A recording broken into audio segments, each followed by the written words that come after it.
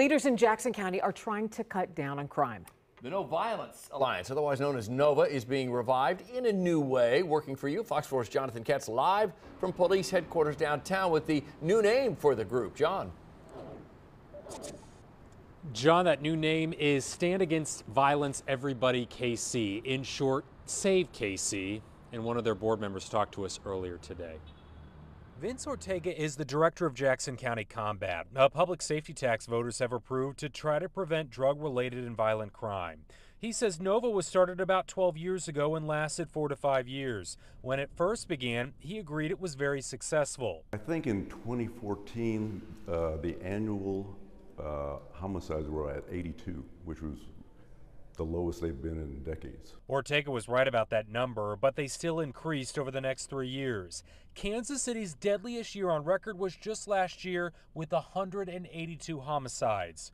Ortega does not know why Nova ended. Regardless, he thinks this new group, Save KC, will be successful over time. I see a lot of communication this time where I didn't see that before in the Nova.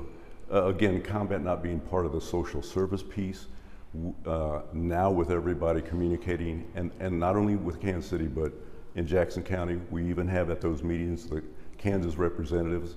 So again, a broader picture, more comprehensive, more communication, and, and coordinating of resources. Ortega says social services could provide people with rental or food assistance. That's where Jackson County Combat's coming into play with Save KC.